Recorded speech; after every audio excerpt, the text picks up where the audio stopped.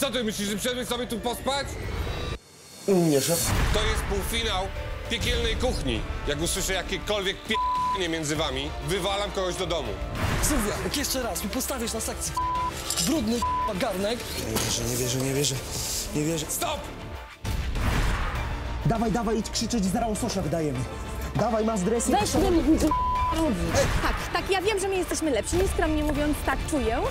Kasiu, to kocham cię, wyjmij palec z dupy i dawaj, jak grilluj łososia już. O Jezus. Hell's Kitchen. Piekielna kuchnia. We wtorek o 25.